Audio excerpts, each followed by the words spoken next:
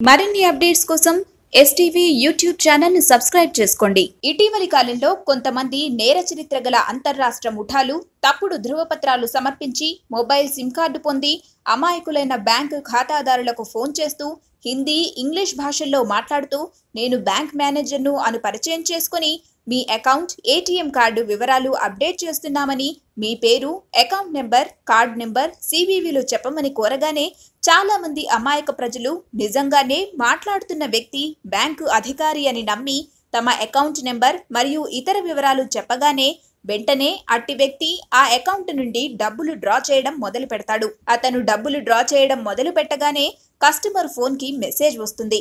అప్పుడు బ్యాంక్ మేనేజర్గా మాట్లాడుతున్న వ్యక్తి ఓటీపీ నెంబర్ చెప్పవలసిందిగా కోరతాడు. ఆ తరువాత అమాయకంగా చాలా మంది తమ సెల్ ఫోన్కి వచ్చిన ఓటీపీ నెంబర్ వారికి చెప్పగానే వారి అకౌంట్లో డబ్బులు మాయమైపోతాయి. బ్యాంక్ అధికారులని ఏ అపరిచిత వ్యక్తి మీకు ఫోన్ చేసినా మీరు నమ్మకండి.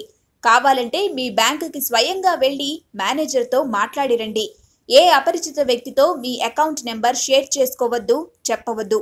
ఏ బ్యాంక్ మేనేజర్ మీకు ఫోన్ చేసి మీ అకౌంట్ నెంబర్ గురించి వివరాలు అడగరు.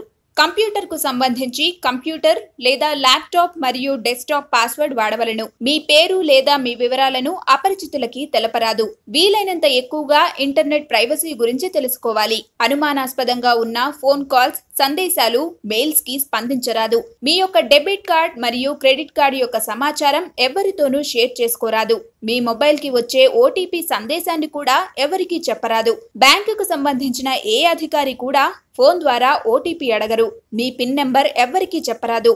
మీరు పిన్ నొక్కేటప్పుడు ఎవరికీ కనబడకుండా మీ చేయిని అడ్డంగా పెట్టి నొక్కాలి. పద్దెనిమిది సంవత్సరాలు నిండని పిల్లలను ఇంటర్నెట్ వాడకుండా జాగ్రత్త పడాలి. విద్య సాంకేతిక చదువు తదితర విషయాలకి సంబంధించిన వెబ్సైట్స్ను వాడమని చెప్పాలి. తమకు తెలియని ఈమెయిల్స్ మరియు మీ డెబిట్ కార్డ్ మెసేజ్ల జోలికి పోకూడదని చెప్పాలి. మీ పిల్లలని ఆన్లైన్కి అనవసరంగా అలవాటు అవ్వకుండా చూసుకోండి. ఎవరైనా తమ పిల్లలు సైబర్ నేరం బారిన పడినచో పోలీసులను ఆశ్రయించండి.